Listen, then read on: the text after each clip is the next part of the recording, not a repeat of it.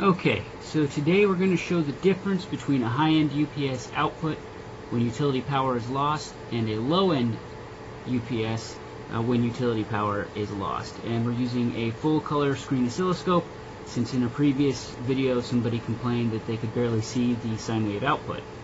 Um, so first you can see right here we have a nice flat line because my probes aren't connected to anything.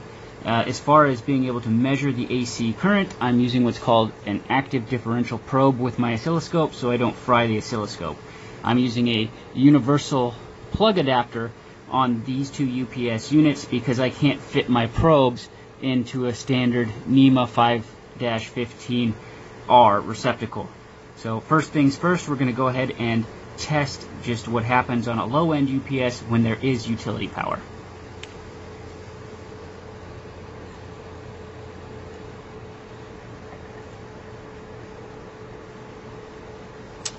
And so you see here we have a pure sine wave.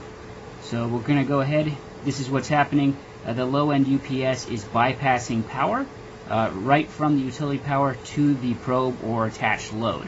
When we go ahead and switch from utility power to just the backup batteries inside the low end UPS, uh, let me show you what happens.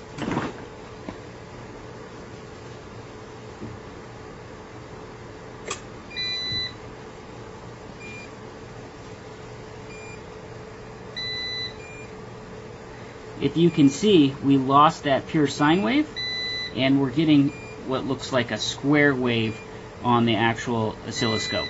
So this is not utility power, this is a square wave. Um, if we go ahead and switch back on utility power,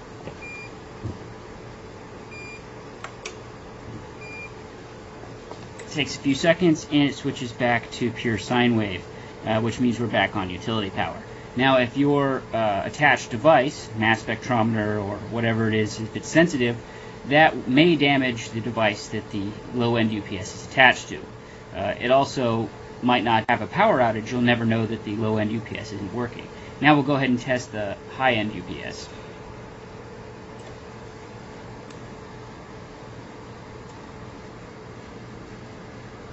Alright, once again we're on utility power and you can see a pure sine wave output on the high-end UPS and we're going to go ahead and simulate a power failure.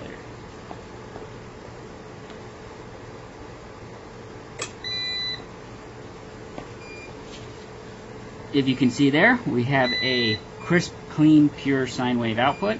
It's as if utility power was never lost. The attached device or sensitive equipment will see absolutely no difference, no delay, no disruption, no change at all when power is lost and plugged into a high-end UPS.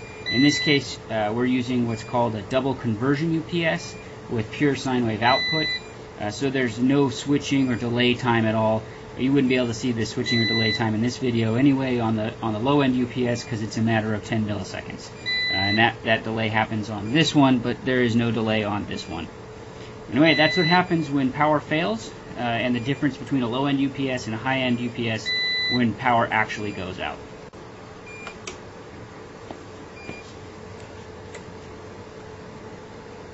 And there you go, we're back on utility power. That's it, thanks for watching.